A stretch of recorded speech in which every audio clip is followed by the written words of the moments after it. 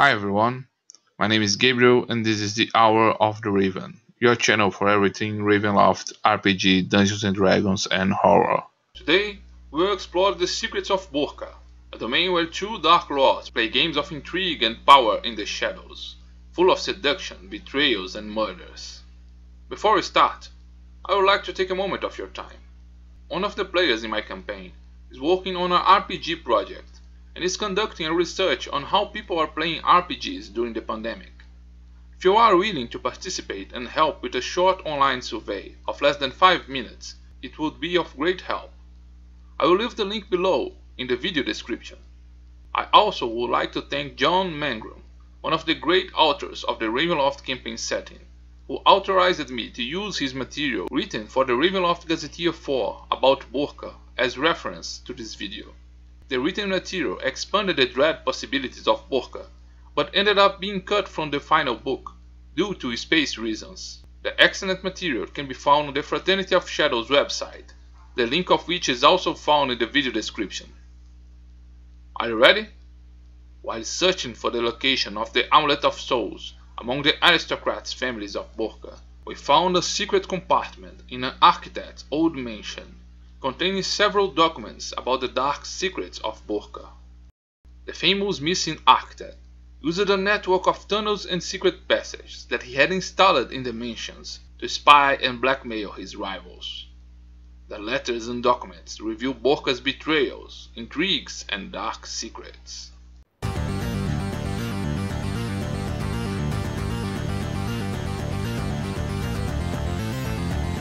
Hour of Raven.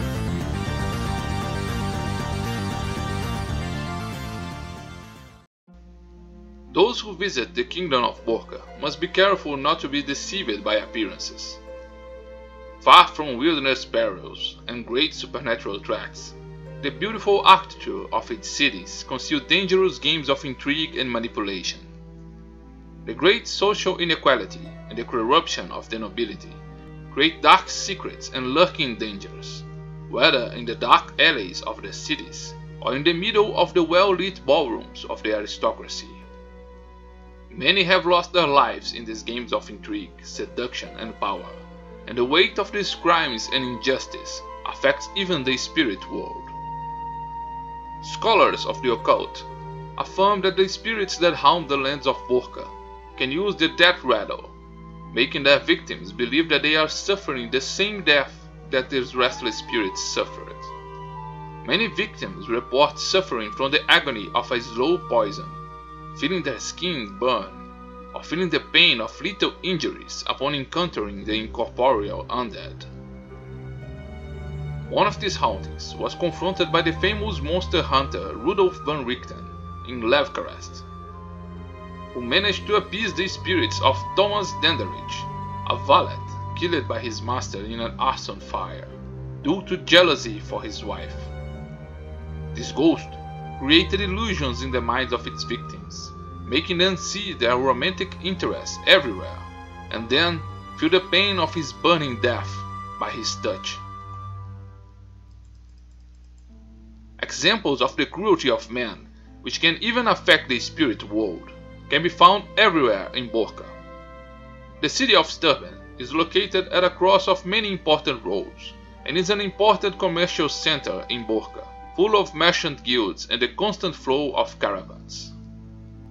The city is famous for benefiting from the thermal waters, but one of its most well-known locations is the Wind Breath. The site is a geyser of boiling water. An iron fountain was built over the site, shaped like two dragon heads, facing towards a cage. Convicted prisoners are placed in this cage to await the jets of boiling water, and the local population bets on whether the unfortunate convict will be unlucky enough to survive the first jet and wait in agony for the next scorching bath. Rumor has it that Sturban is also the home of a mysterious secret group. The League of Nine is sought after by the wronged when the law or a duel is not an option. No one ever directly encounter one of its members, but many know some proxy who claims to represent them, and who are able to bring their requests for justice to the League of Nine. The secret group is composed of members of important Borcan families and meet in secret under the disguise of cloak and masks to deliberate on requests. The secret court will evaluate the case and if it considers the request fair, the offender will die within the next 30 days in a murder so subtle that it will be almost indistinguishable from a natural death. The petitioner will receive on the day of the death a charge for the services, equivalent to one year of the victim's income. Those who petition for the League of Nine must be sure of their intentions and cause. If the secret court finds your request inappropriate, it will be the petitioner who will suffer a mysterious death, and the alleged offender will be charged for services that he has not even requested. Furthermore, they never accept requests against Ivan or Ivana, and they never attack members of their own families. The city of Ilven, close to the old border with Dorvinia, is built around a fort and is a center of the organized militia of Borca, due to its strategic location along the border with Falkovnia. The city is known for its leatherworking and is full of slaughterhouses and tanneries. The temple responsible for these lands, Baron Ozanik, is known for his cruelty and his breeding of dogs. He considered dogs more loyal than men and trained them to attack their enemies, using them to hunt and patrol his lands, and even as a method of executing criminals. In Ilven, we can also find the Black Hourglass Inn, a place managed by the beautiful Iliana Foami.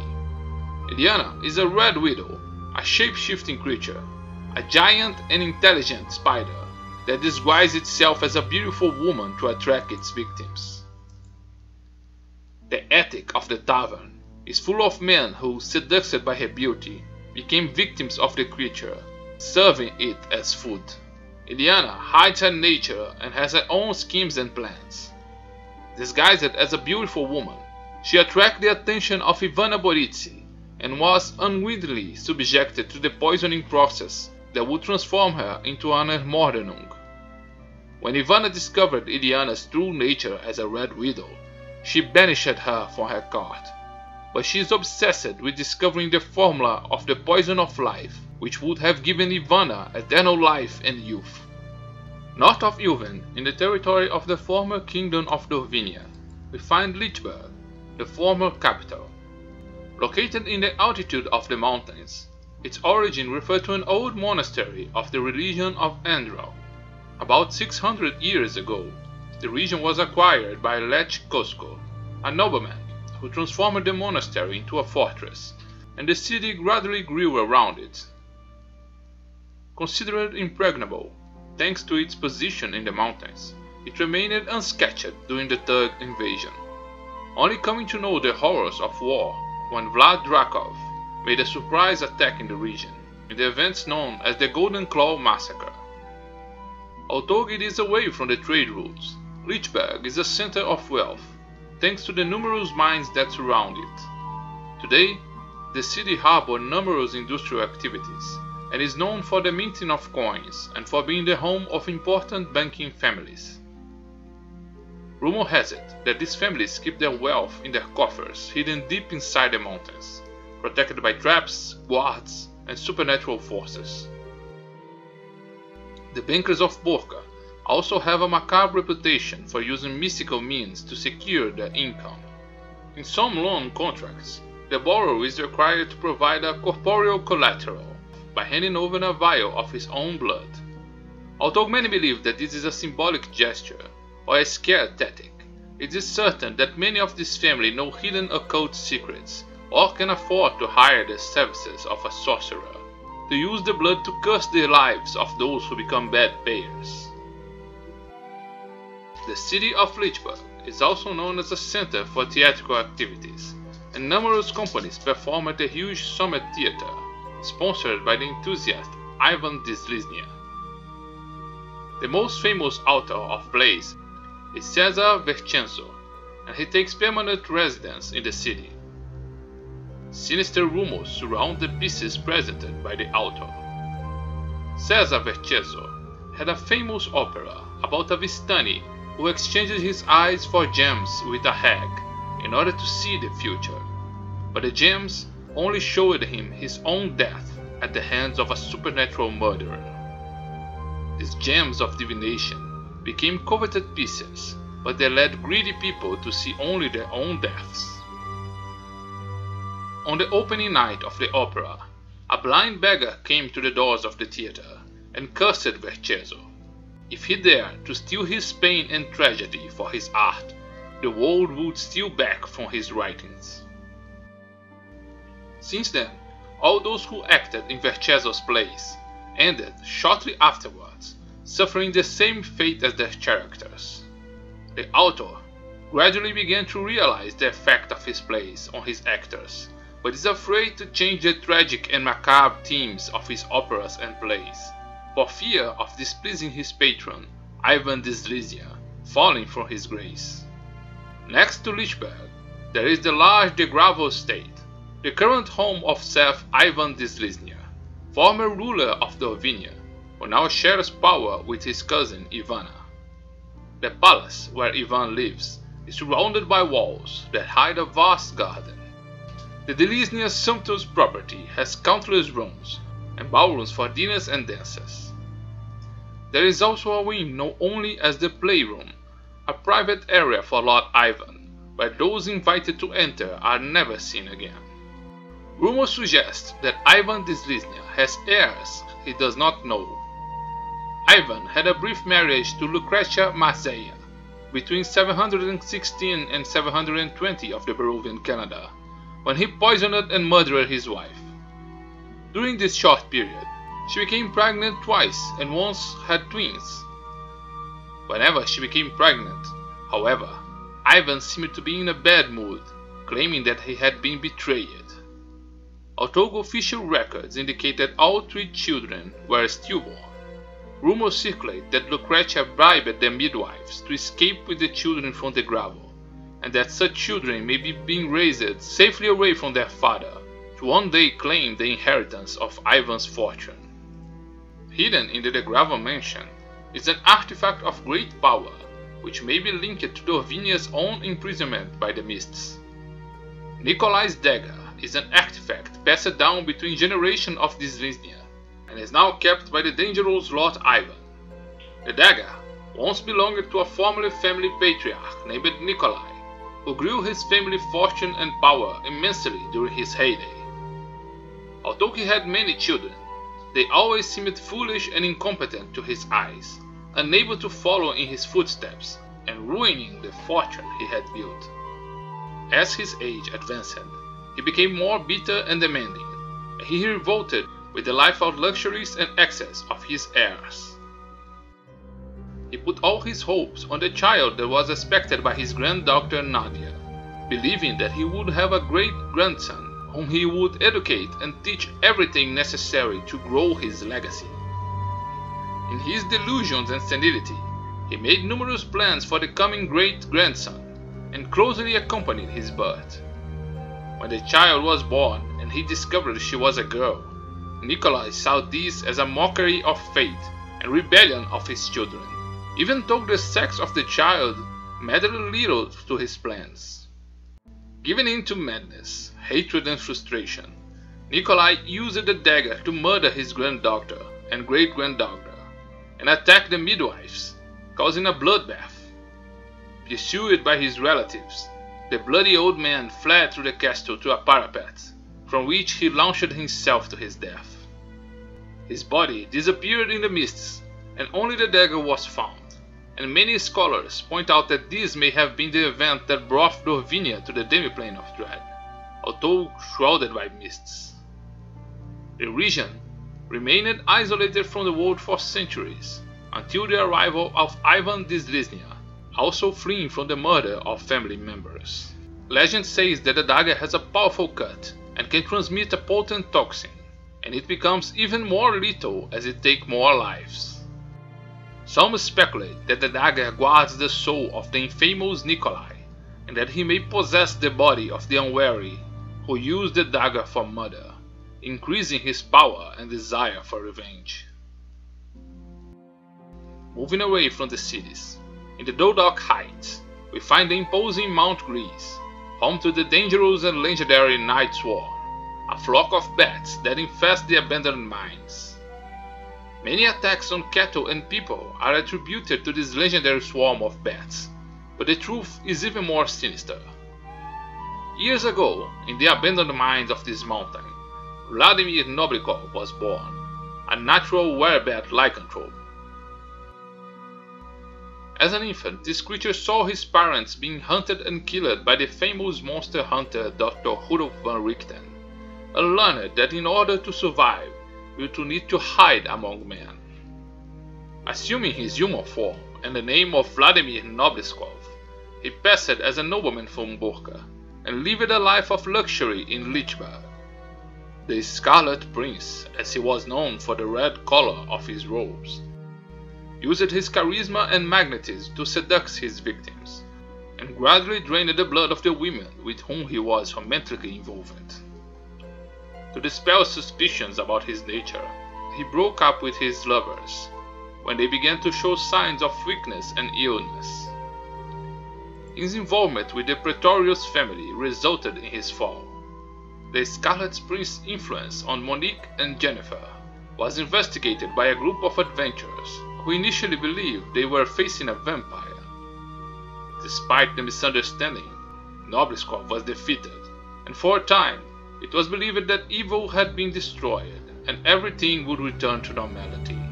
Nobliskov's last victim, Lady Jennifer, escaped from the monster and later married Baron Amtor Okratai. The family moved to their estate in the Stalin, but the nightmare soon resumed. Jennifer is infected with lycanthropy and became a werebat, and her transformation is triggered by the sound of the bat flock, the legendary night swarm. After her first accidental transformation, the giant bats of the night swarm perceived in Jennifer a leader of their pack, and now they search for her every night, so that the werebat might lead them in their hunts. The Ocrotines family seek help to try to save late Jennifer, and try to isolate her in a soundproof room every night. But the bat swarm always find a way to communicate with poor Jennifer. Close to the Stettin region, south of Mount Grease, is the small town of Vorziden. The city once housed numerous woodcutters and miners, but with the exhaustion of Mount Grease silver veins, the Alpine city has lost much of its population.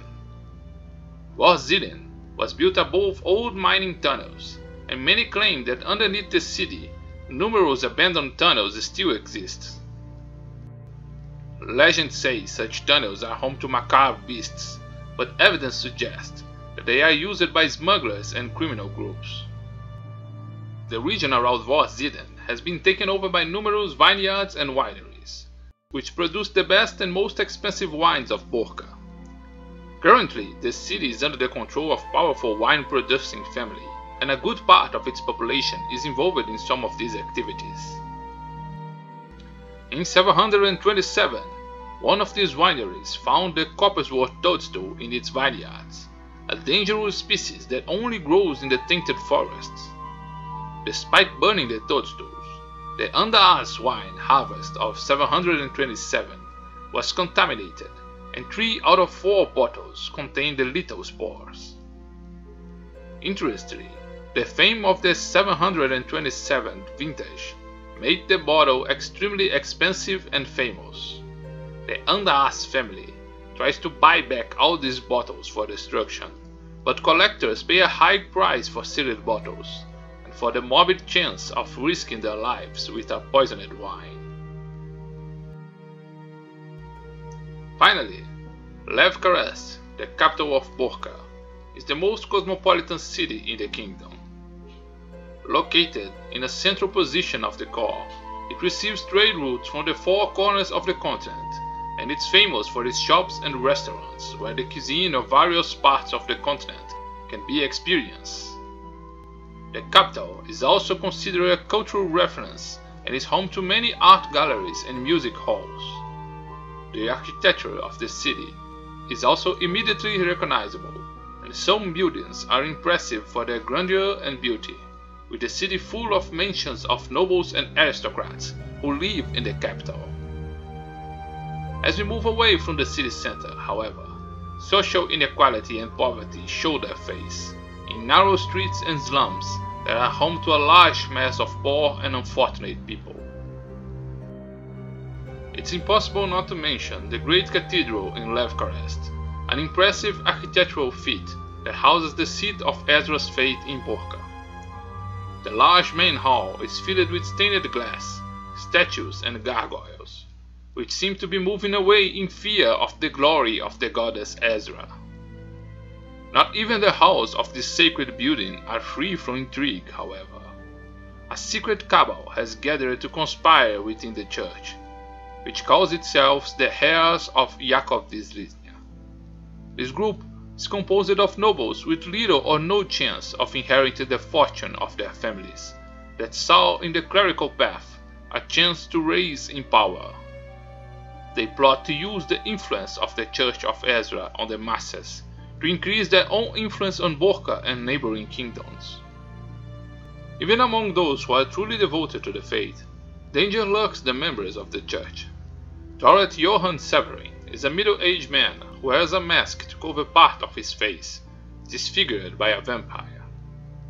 A clergyman, in the past, has ventured with the famous monster hunter Rudolf van Richten in the fight against the forces of darkness, but today he is dedicated to the church and to the spread of Ezra's word.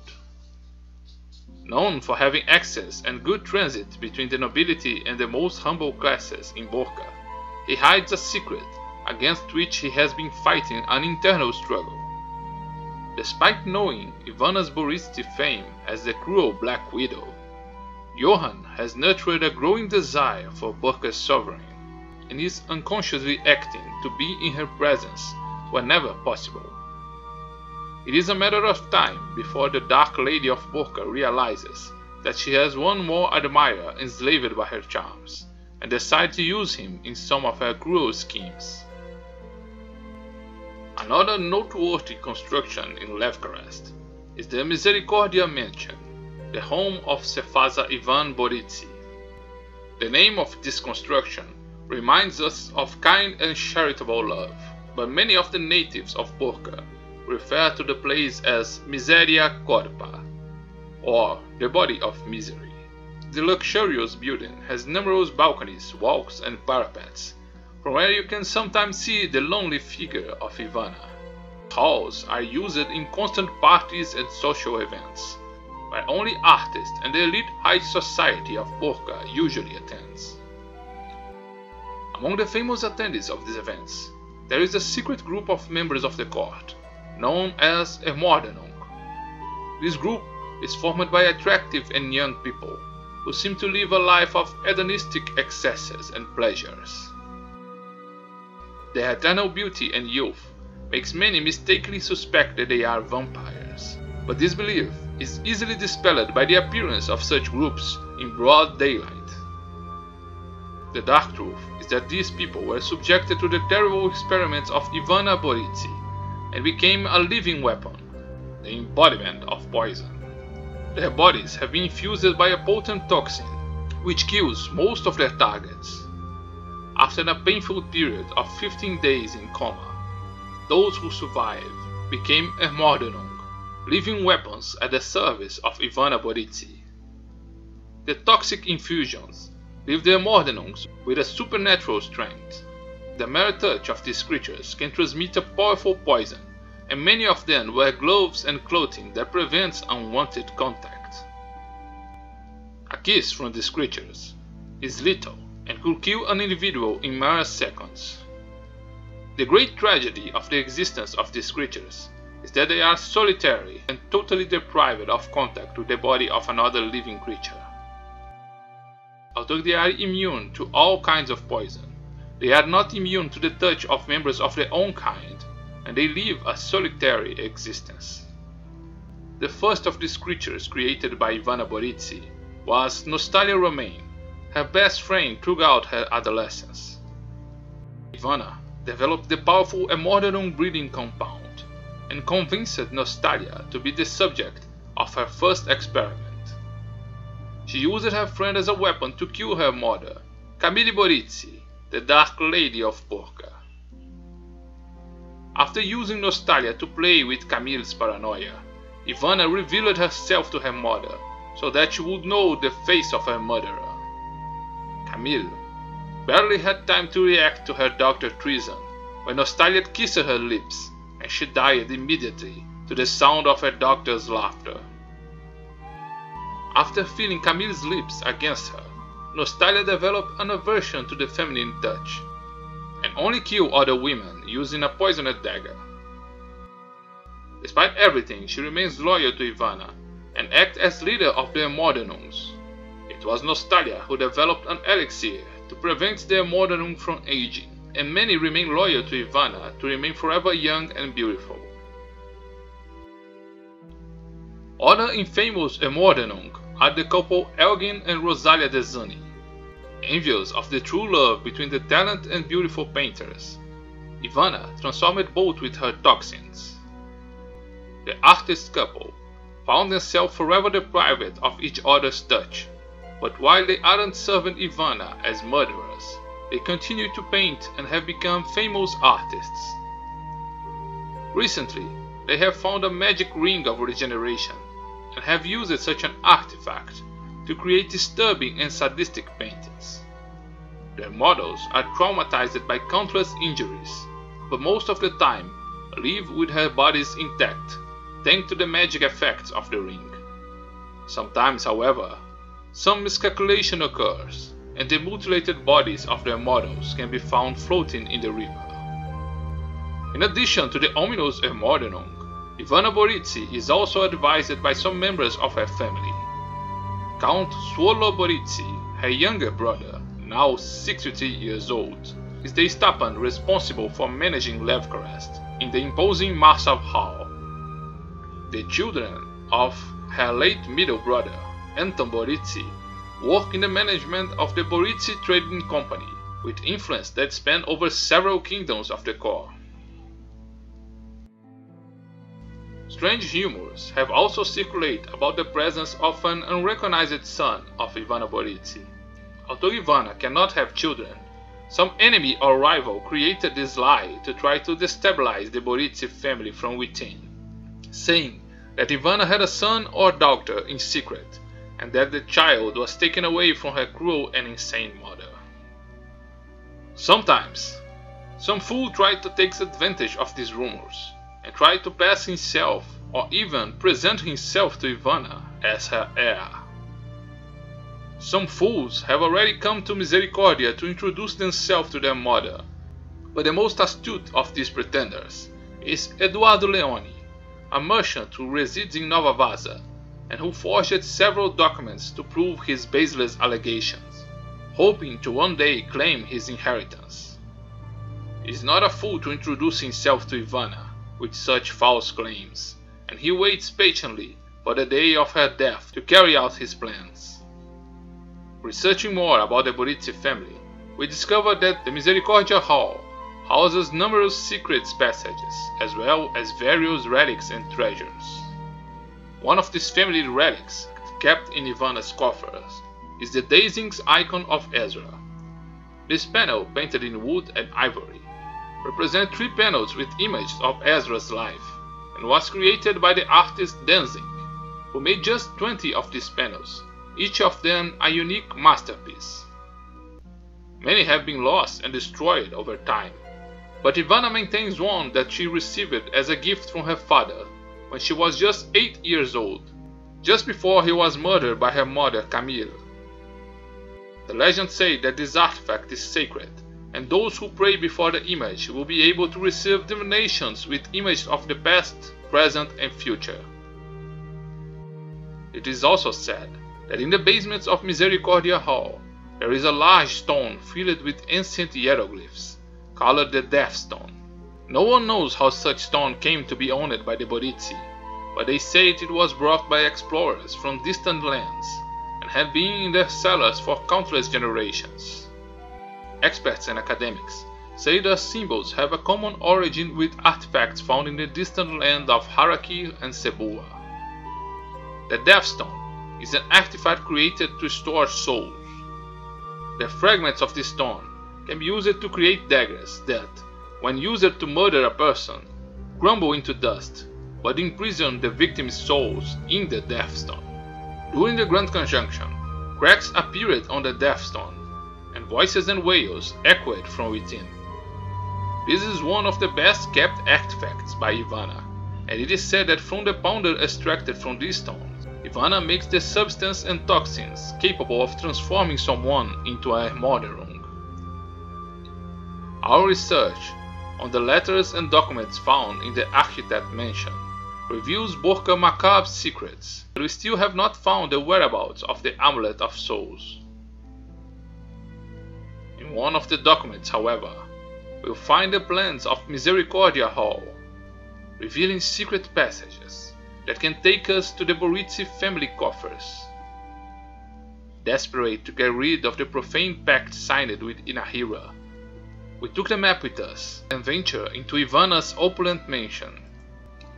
It is already night when we explore the mansion's secret passages, and we hear the sound of festivities in the house from afar. Perhaps the distraction of the party can prevent us from being discovered. We proceed carefully through the tunnels until we reach the entrance to Lady Ivana's secret room. Carefully to avoid poisoned traps, we search her possessions for the amulet. Our searches do not lead us to the amulet, but we discover a book containing reminiscence of the Cephasa Ivana Boritsi. Join us, subscribe to this channel, and together we will explore the best and dark secrets of Ivana Boritsi, the Black Widow and Dark Lady of Borca.